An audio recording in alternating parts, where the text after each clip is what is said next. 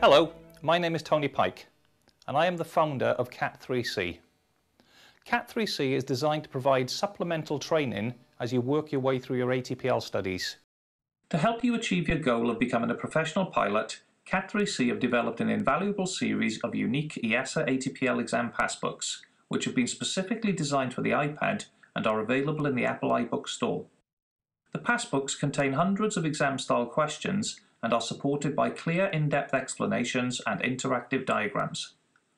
The link to the iBooks can be found on the webpage below or at the CAT3C website at the Bookstore tab. Additionally, we currently deliver three-day classroom-based general navigation courses and will also be providing future interactive online training sessions plus a range of pre-recorded video seminars. More information on our online sessions and our three-day UK-based classroom training courses can be found at our website www.cat3c.com. But for now, sit back and enjoy this QEV.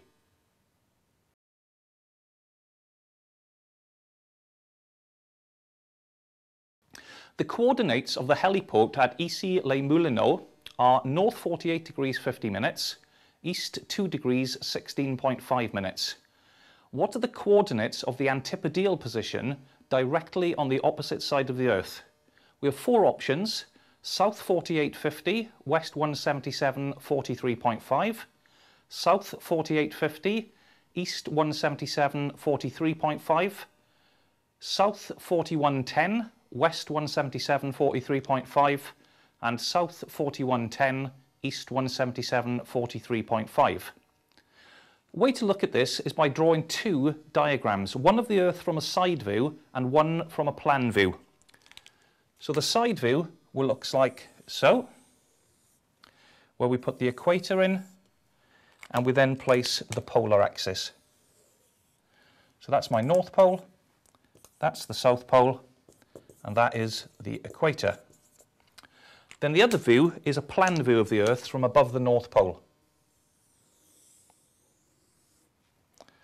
North Pole is in the centre and the Greenwich meridian runs up into the North Pole. First of all, we look at the latitude. Now, the latitude of Issy-les-Moulineaux is north 48 degrees 50 minutes. A latitude is taken from the angle at the plane of the equator, so that angle there is 48 degrees and 50 minutes. This position, which relates to this line of latitude, is at north 48 degrees 50 minutes. To find the opposite latitude, we simply continue this line straight through the centre of the Earth down to the opposing hemisphere. As you can see, the angle here would be the same as the angle in the northern hemisphere meaning the latitude opposite 48 degrees 50 minutes will simply be exactly the same numerical value, 48 degrees 50 minutes, but in the southern hemisphere. Looking at the optional answers, we can see that there are only two that fulfill that requirement, and they are both reading south 48 degrees 50 minutes. However, they've both got different longitudes, so we have to now work out what the longitude will be as well. Well, we know that the longitude of Issy-les-Moulineaux is at east 2 degrees 16.5 minutes, which is approximately there. That is 2 degrees and 16.5 minutes to the east of the Greenwich Meridian.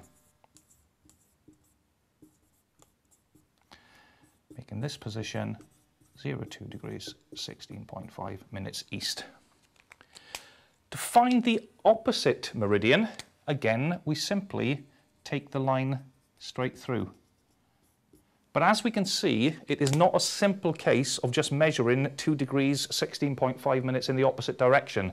What we have to do now to calculate the opposite uh, meridian is to subtract the known meridian from 180 degrees. A meridian plus its opposite or anti-meridian will always add up to 180 degrees. So 180 degrees minus 2 degrees 16.5 minutes gives us 177 degrees 43.5 minutes.